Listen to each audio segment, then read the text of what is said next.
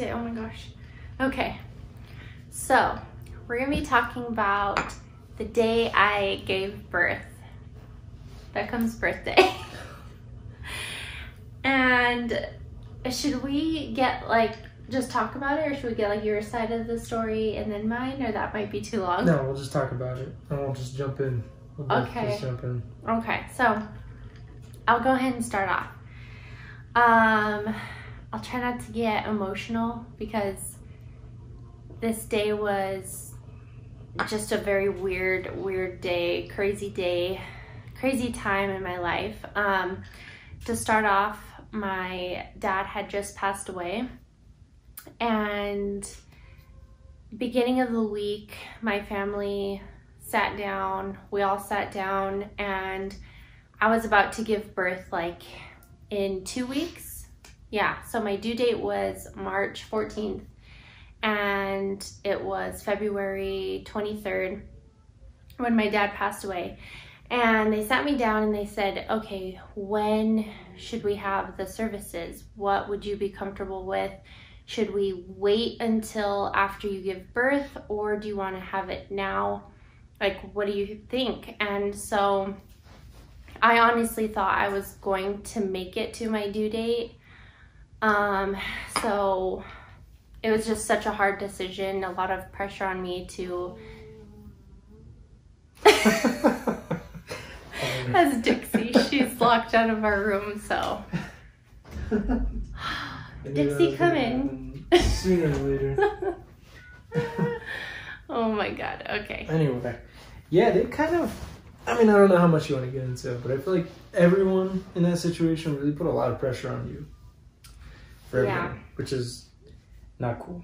Yeah, there was a lot of pressure put on me. Everyone was like, "What do you want? Like this is it's your decision, Sarah." That's all. That's what it was the whole time, which, you know, uh, yeah. So, okay, I said, "Okay, let's have the services this Friday." We were at like the mortuary, the funeral services place, and they gave us dates that they had available, and Friday was one of them which was March 1st. And I said, okay, sure, like, let's have it that day and let's just go with it. Anyway, that was on Friday. The, the services were supposed to be. Sorry, I'm like trying to make sure I get all the points correct. And th- all day Thursday, I was like thinking in my head that I just know that I'm going to go into labor tomorrow. I just felt it. Not like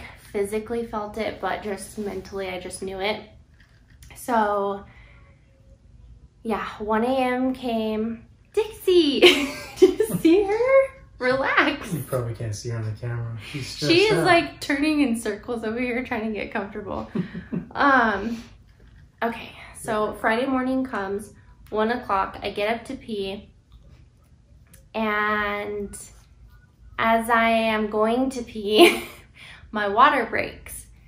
And at that point, I'm like, did my water just break or did I pee myself? Like, I have no idea because it wasn't like the movies or like what some people say. Like, everyone's like, there's gonna be a big burst of like water. Yeah, I remember we went like earlier because you thought you were maybe going into labor, and the lady Mhm. said it would be because you you know you thought that your water broke, and she said Yeah. no, it, you'll notice it. It's like a two liter bottle Oh, of yeah. water. Yeah. I so you were that. expecting like Yeah, and everyone always says like it's gonna be like a gush, like you know whatever. But it wasn't like that much. It just honestly felt like I just like started peeing a little bit. Anyway, we won't get into all the gross details too much. But um, so anyway, almost instantly after that, I just started getting these horrible contractions, and so I laid down.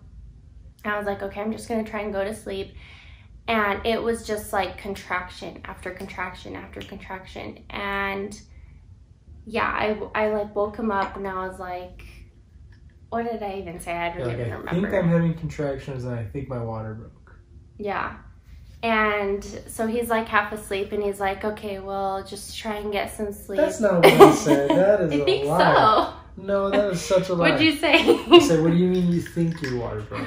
And Oh, you explained it to me, and I was like, "Well, let's go in." And you're like, "No, I don't think it did break. I'll try to just go back to sleep."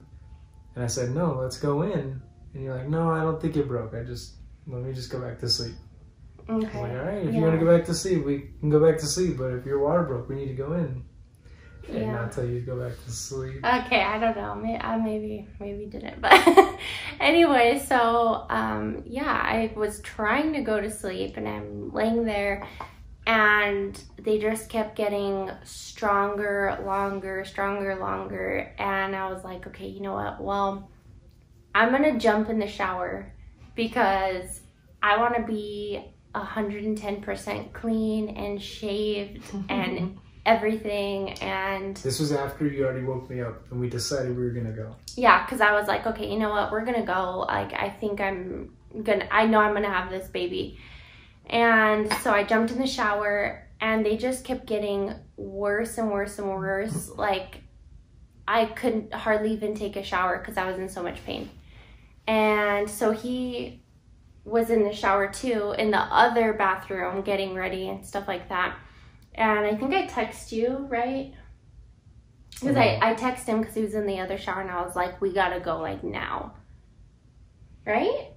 I don't remember that. I think I did. I remember by the time it took you to take a shower and get ready, I took a shower, I got ready, I packed your overnight bag, I packed his overnight bag, I packed it all in the car, I packed the car seat like that. Was yeah, he did all of that within like, I feel like 30 minutes. If that, it might even been Yeah, it might have been sooner flying. because I was like, okay, we gotta go. Like, it was like the worst pain of my life. But you already kind of started packing a bag, right? You were already kind of I had little by little. I had already packed all my stuff like weeks before that. Yeah. I think I just needed like to pack small things like my phone charger, like my makeup, like small stuff like that. But for the most part, I already had all my stuff packed. And at this point, we're going to the hospital, and he even ran a few red lights. right? Yeah. Yeah. It was early though. It was really early. I think this was like at two or three in the morning. Yeah, it was. No, Yeah. it was a little bit later, but I mean, not that much later. It was but it was really early. So we get to the Really good. hospital, get checked in, everything like that. And by that point my contractions were just so unbelievably horrible, close together. I was like begging them for an epidural and I was in so much pain that they even gave me medication before the epidural because I was just in so much pain and I was in labor for a total of 15 hours. Was it 15 hours? Yeah, 15 hours. And yeah, I'll let you talk a little bit. no, I was just gonna say like we already knew where to go because some people Mhm. like if you had not had the incident, you had it once or twice where you thought you were going to labor before. um, I think twice. Twice. If you I had, a very complicated pregnancy, and But- every time something was happening, I would like call my doctor, and they were like, "No, you need to come in right now." So but the good thing we knew where to go. Like if we would have, if that had been the first time we had to go, yeah, we probably wouldn't. because it was on the other side of the hospital where your actual doctor appointments were with your Mm-hmm. G. OBGYN. OBGYN. so that was good. Like Yeah. I, you know, if you're a first time parent or going to be a first time parent, I definitely recommend like figuring all that stuff out beforehand. Because I would have gotten stressed. yeah. But then they they put you in a room before they took you to. Yeah, they right? had And me in were there for a triage because they have to make sure that your water did break before they can actually um, admit you and make sure that you're okay to get the epidural and whatnot. But yeah, they came so fast, gave me the epidural, and by then I was just. They had given me some other medication. I forgot the name of it. Um, And I wanted to film all this. Oh yeah, so Wasn't allowed to. I had always been okay to film it until that day. Um, he wanted to film everything, and I think I just had so much going on, and I was just, I was so full of emotion, and like, I, I don't know, I just had so much going on. I was just like, no, I don't want you to film anything. I hardly even wanted him to take pictures because I was just, I don't know, I was just in a whole different headspace, and I, I was like mad but happy at the same time because mad because I was going to miss my dad's services. I was going to get to miss everything. But I was also happy to miss it because I didn't know how I was going to like live through that basically, you know.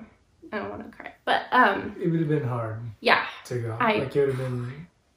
Yeah, it would have been super hard for you to do. yeah, and I'm glad like um my dad didn't want that to be a sad day. He wanted it to be a happy day. So that is why I think God made me go into labor that morning. So I'm thankful it all happened that way. But yeah, crazy thing. Um, so I was in labor pretty much the whole entire day. My dad's services were at like five o'clock, I think. Yeah, five o'clock. And I had Beckham at like 417. So my family and everything, like my mom, my brother, were there at the hospital with me. But it was like I had him just perfectly on time where they could still make my dad's services, you know? So it was just like, a, I'm sure it was a crazy day for them. Oh yeah, Because- because your mom got there like probably like at like five, four or five in the morning. Yeah, we called she's- her yeah. and she was there like right away. And another funny thing, because before I even went into labor and stuff, I was so nervous about the whole thing. And I was just like, I didn't want anyone to see me like giving birth. I don't know. I just, I was very like, I'm very to You myself. didn't even want me in the room. Yeah, I was like even worried about having him in the room. I'm like, I don't, I don't know. And he was like, No, I'm gonna be in the room. Duh, hello. And I was like, No, I don't want anybody else. I don't want my best friend. I don't want my mom. I don't want nobody. And yeah, my mom was there throughout the whole entire thing. I think I was just in so much pain that I just didn't care. Like I just didn't care Well, you're all. jumping around a lot. So like you had a complication because you couldn't. You were your con- your contractions were going, going, going, and you were pushing, and it wasn't really doing anything, right? Yeah, I pushed for a total of three hours. I was finally dilated and everything. And the crazy part about it is, I got the epidural twice. So they gave me the epidural. Long story short, I was pushing, pushing for a few hours and nothing was happening. Nothing was like progressing. Well, I guess like they could see his head and stuff like that, but it was actually kind of scary because there was a lot of complications going on and they were getting ready to give me a C-section and they the nurses and doctors started using all these codes and stuff and they were freaking out and you could like kind of hear them whispering and freaking out to each other and we were just kind of like what's going on Well, you asked for the C-section, right? You didn't want to. You didn't want to push anymore. Yeah, I, I had been pushing for like two hours, and not only that, hit uh Beckham's heart rate was like sky high. My heart rate was sky high, and he was developing a fever, um, an infection, and so was I. And I was like vomiting. I was shaking. I was like hyperventilating, and I threw up all over my mom. So we, so it was her, her mom and me were like holding her legs, hmm. and we were helping. them. They were instructing us what to do, and like hmm. I was on this side, and then finally they were like, "Well, if you guys can switch, I don't know why they told us to switch." So me and your mom switched, and like ten seconds later, you like turned to the right where I was, and you threw up all over your mom. Yeah. And I close to being tried telling her, and I, I was in so much pain, I was like shaking, and I tried telling her, like, move, move, I'm gonna throw up. And I like said something, and I remember her being like, "What? What?" And she like got closer to me, and I was just like, Bleh. I threw But up all over but It wasn't, it wasn't like weird. No one even really at that point. It's Yeah. weird. No one like. you It's weird at that point, like it. nothing is gross. Like Yeah, you you're just even- so It's like nothing. your adrenaline is so high. I think you're just like so excited about seeing the baby, and there was just so much going on, and so yeah, I was just I was so full of emotion and physically in so much pain that I was like give me a freaking C-section. Like, let's do a freaking C-section. Let's get this baby out. Like, I'm tired of pushing. I can't. They wanted me, they were trying to get me to do all this crazy stuff. they were like, they made you turn around. Yeah, they made me like get in like a dog position. They were making me pull a sheet, like do tug of war. They were doing. Remember when they got the mirror and they made you? Look? Yeah. Oh yeah. So the nurses in the room, they were like, "Do you oh. want to see? I think if you see, you'll like push harder and all this stuff." I'm like, "No, I don't want to see." Like, I don't know. I'm just, I did not want to see. And the nurse, anyway, she's like, "No, we're gonna get a mirror." And so like propped a mirror like right a there. a huge mirror, mirror huge ass mirror. And so yeah, I couldn't help but look because they're like, look, and like every time, yeah. So uh, yeah. So they got your regular doctor, your OBG. Oh. Yeah. So finally, they were going to do a C-section, mm-hmm. and they were like, okay, yeah, we probably need to do a C-section. Like we both had an infection, our heart rates, yada yada, and then my actual doctor, my OBGYN that had been my doctor throughout my whole pregnancy, got there. And she knew what was going on. She knew that my dad passed away. And she was like an incredible doctor. We had a horrible experience with our first doctor. We actually had to switch doctors after a few weeks. But then we'll save that story for another time. But um, she got there and she came in and she was like, oh, I don't know. What did she say to me? She made you push again. She yeah, she was like, I think you can do it. Let's try it. Like, let's just try it a few more times. And I'd already been like resting a little bit. And they gave me the epidural again because they stopped my epidural because they were like, I think if you mm. feel the contractions and you feel everything, like you'll get this baby out. And no, it just made it worse. I was in so much pain. Forgot about that. Yeah. And so finally she was like, no, let's start the epidural again. Let's get her pushing again, yada, yada.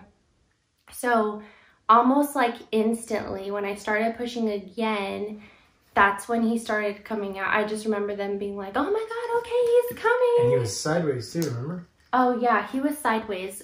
Craziest thing, like my whole pregnancy, he was transverse, which instead of being face down, he was sideways, like laying in a hammock the whole time. and like I think honestly that's why I was so uncomfortable during my whole, I mean everyone's uncomfortable, but he was literally sideways, his feet were in my ribs. They were actually gonna have to do this procedure if he didn't finally turn head down. They were gonna have to like, I forgot what it's called, there's a certain name for it where they go in and flip him and thank God I didn't have to do that. But yeah, as... flip and pull like that. yeah, I, I forgot remember, about that. I remember that. So the whole time, we forgot to mention that the whole time I was pushing, they were trying to like turn him. Oh, yeah. Every time I was pushing, they had like their hands in me. That sounds disgusting, but just being honest and real with you, they had their hands in me and were like trying to turn him as I was pushing. So, oh, it was just, it was and horrible. The whole time you were pushing in the beginning, I was doing the PowerPoint Remember? Oh, yeah. Okay, that's another thing that was so horrible. Um, yeah, AJ was in charge of doing the PowerPoint for my dad's services, like putting together a slideshow of pictures and the music and stuff like that. And of course, like we thought we had time. I mean, we weren't expecting me to go into labor. So as I was in labor, he's trying to put together the PowerPoint and everything because I mean, no one else was able to do it. Everyone was. Well, because we had everything. So we had like 70 pictures. Oh, yeah. I remember some of them, a lot of them were in frames. Mm-hmm. I walked into the hospital with the laptop, a stack of pictures, a and like scanner. a big ass printer scanner, like yeah. this big. And, and, you'd be pushing, and then they'd take a break, and I'd go sit down and like scan, scan, scan, and then they'd you'd start pushing again. and I'd go like that, back and forth. Yeah, it was a We got it done at the, at, on time. Yeah, it was just it was seriously like that day, like I that's the only thing I regret is not having you record everything because yeah. I would love to look back on it. And oh, yeah, I could just cry thinking about that day because when Beckham finally came, he was just like, oh. They just got him. I don't, what did they do? They got him and just threw him on your stomach. Right? Yeah, they just got him and like chest. threw me on my st- threw him on my stomach, not threw me on my stomach. And this sounds really weird, but I've always seen like babies come out like in movies and you know yada yada, and they're always like covered Gross. in blood and covered in like white stuff and like I mean that's just natural. That's how they come out. But he came out like he just got a In bath. condition. I'm I'm not even joking. He came out like perfect. Like he wasn't covered in any of that stuff, which is really weird. Um, Oh, oh, you, you know forgot what? to mention too that you want so you wanted nobody in the room, Mhm. and by the time you had him, there Oh. was like 10, almost fifteen people, 10, 15 people in the room at that point. There was like, and they were all why. like doctors and nurses. It was because they were getting ready to rush me. So Yeah, what I learned Hmm. after is that my placenta had, I think, it, I, I forget the verbiage exactly, but something ruptured basically. There was no amniotic fluid left. So basically, like, he had not, like, he was running out of oxygen and it was just getting really bad. so and if you would have slept a little bit, so you know, a word of advice: if you think your water broke, don't go back to sleep. Go in. Right? Yeah. Well, I didn't know if my water had broke, but yeah, it was just crazy. Anyway, he came out perfect. Like he Maybe wasn't noise. yeah, he wasn't even Mm. crying. It was the weirdest thing. Like they laid him on me and it was almost like a like a breath of relief that he gave. He was like ah Yeah, was like that's the best way Yeah. I could explain it. everyone laughed. Everyone was like cutest little laughing thing. and like, oh my god, because it was crazy. Like he wasn't like, "Meow," like crying like normal babies do. I swear it was the weirdest thing. to you, too. Oh yeah, and he was like holding on to me like a monkey wrapped around me, like literally squeezing me. And oh yeah, it was just like the craziest And then- experience ever. Um, you want to talk about the first night that we were there, super quick? How stressful it was for me. Oh yeah, that was so funny.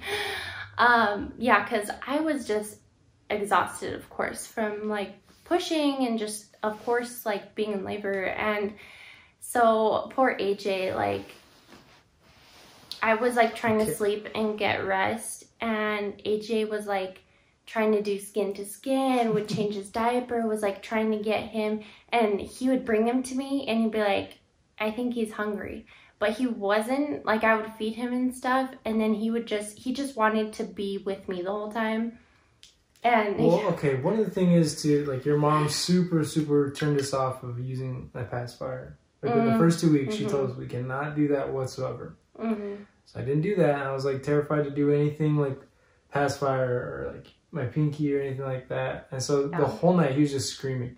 Yeah, I think you woke up and I had my shirt off and I was trying to like yeah and Beckham was just that, like mm. screaming his head off like he wanted nothing to do with AJ that sounds horrible and funny but he really didn't Sure. he didn't want anything to do with AJ like AJ would literally hand him to me and he would like stop crying immediately But then yeah, then you guys would fall asleep for like twenty minutes and then you'd wake up again yeah and I'd grab him. I'd And wake up and I was like falling asleep with him in my arms, and that's one thing they said not to do. They're Yeah. like, do not like fall asleep with him in your arms.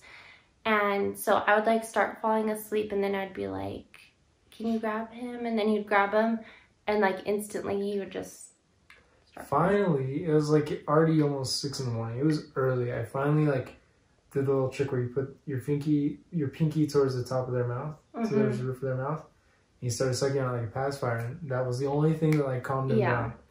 And I felt bad about it because I was like, well, we're not supposed to do anything like this, like you know, Mhm. bottle or pacifier. But My mom was very old school, so she like doesn't believe in formula, doesn't believe in a pacifier, like nothing, like she wanted us to use cloth diapers.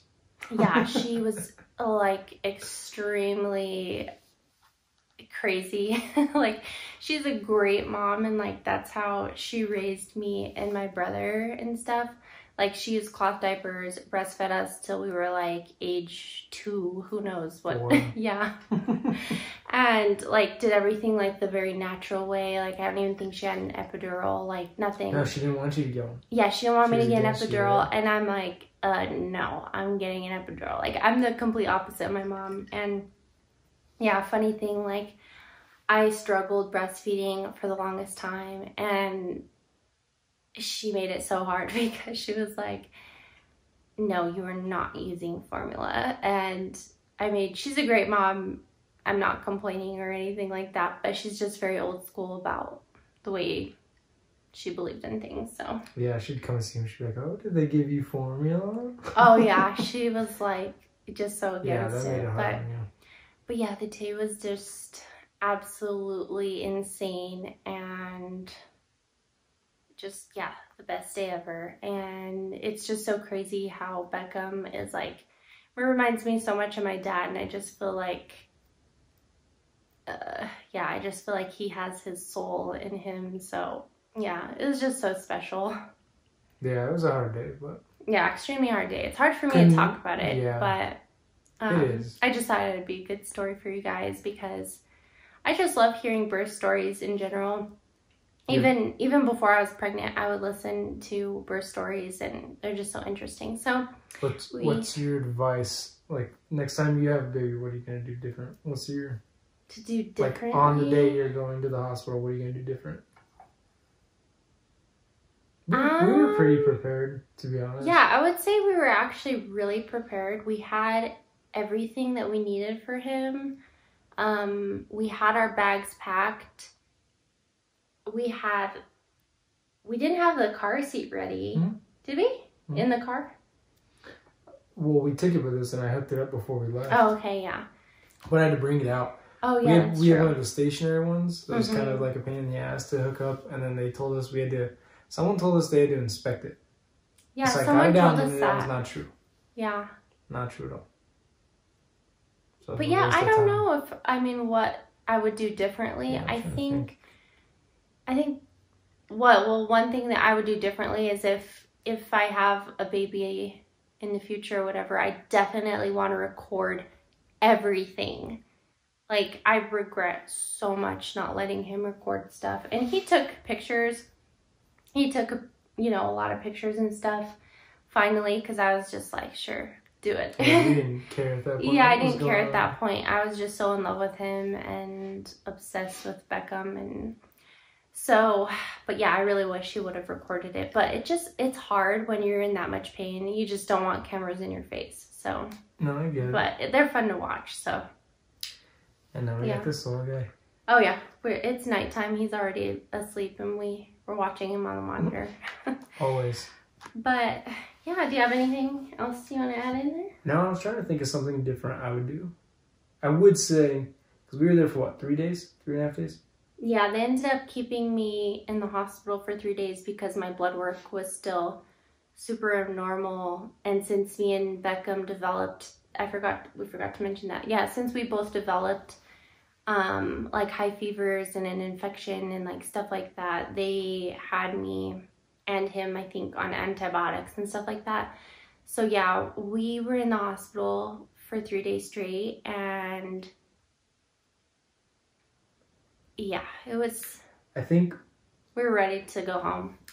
and you're probably gonna get mad at me for saying this, but I think I'd probably take like my PlayStation or something. Yeah, I would be bad. Because- Because I've seen videos of guys that like take it like when you're pushing, no, because there's the first room. well, yeah. There's the first room, I forgot what it was called, but it was like where you delivered him. It was Mhm. a really nice room. We went to like a really nice hospital too. Yeah. And then they took us to our own personal room. And there was times where they would take Beckham for like a couple hours to go take him to do stuff. I forgot what they do, to like give him a circumcision and stuff like that.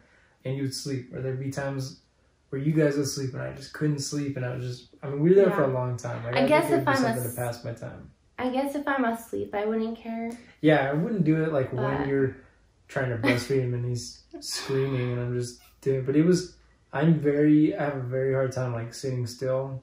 But there was a lot going on, so I guess I wasn't I never felt like hmm you know his Yeah. eyes just opened. Uh-oh. But and then what else did I do? I mean that's it. Like we had a really nice hospital. The food kind of sucked there. Luckily we had people that would bring us food. Oh, that was that was another thing. Just real quick, we don't want this video to be too long, but oh my god. Okay, I went into labor, and when you go into labor, they do not want you to eat or drink. or drink anything in case they have to do a C-section. They don't want any food in your system and stuff. So we got there and I think yeah, his mom was like, "I'm bringing coffee from Starbucks for everyone." So she like brought Starbucks and I wanted Starbucks so bad. I wasn't allowed to have that. And then I think someone brought like burritos for everyone. And then later on, Chick Fil A. someone brought Chick fil A for But I didn't everyone. eat my Chick Fil And I was just like surrounded by food the whole time. And I was so pissed off because I But I was didn't so even eat my hungry and thirsty. Well, they were letting me drink water and Ice. Remember? and ice, yeah. But that's about it. And apple juice, I think. I didn't even get to eat my Chick Fil A. Remember? Because you were doing Because I was doing the thing. PowerPoint, and then you had the baby, and then by the time I ate it, it was like three, three, four hours old. Oh yeah. But yeah, it was fun. It was it was a day of events. But yeah, we're gonna go ahead and end the video here. I hope you enjoyed our little story time and yeah, it was so much fun. Yeah. well we'll see you in the next video. Bye loves. Bye loves. Look at this little man. what would you do if it didn't record any of that? Oh my god.